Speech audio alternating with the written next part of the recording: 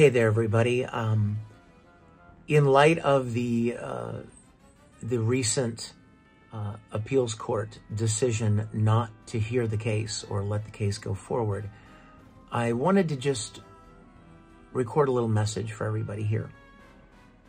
The first thing I want to say is this thank you to all of you out there who are so supportive and kind and encouraging.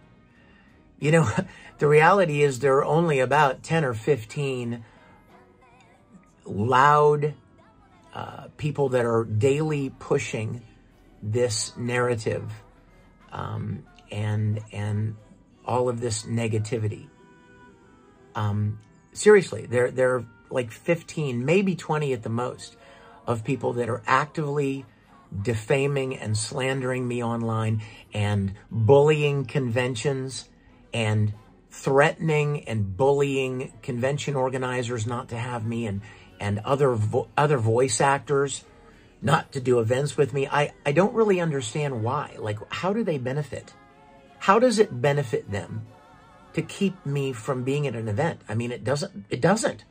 It's a rhetorical question. It doesn't benefit them unless they get some twisted pleasure out of keeping me from from making a living and uh, keeping other fans that that want to meet me and appreciate my work from doing so. But there are 10,000 of you for every one of them. Maybe more. And I just want you to know how thankful I am for that. The second thing I want to say is this. Please, whether you hate me or like me, whether you support me or condemn me, regardless, it's fine if you can't stand me. But please hear what I'm about to say. They haven't won anything. You can't win if you don't allow the game to be played. Does that make sense? All that has happened here is they've kept the case from being heard. That's what's happened. There wasn't a, a presentation of the facts and evidence and and a verdict and, and proof of anything. It never got to that stage. People talk about Johnny Depp's thing all the time. Well, Johnny Depp had his case heard in front of a jury and they made a decision.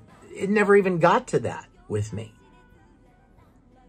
It's kind of like if two baseball teams went to a uh, a stadium, and one baseball team locks the other team in the locker room and then goes, "We won."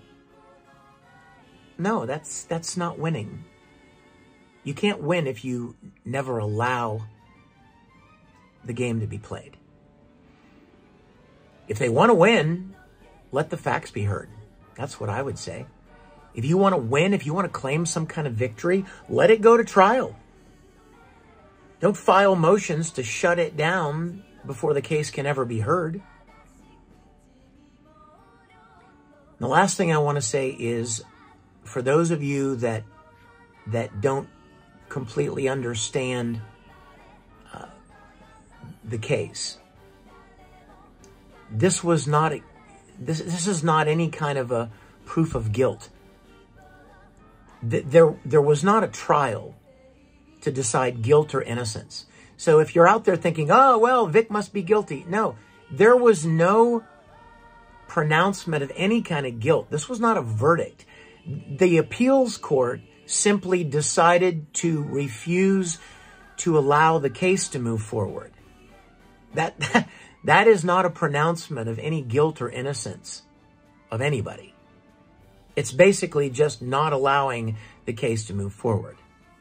So I just want to make sure everybody understands that. Whether you like me or hate me is not is not the point.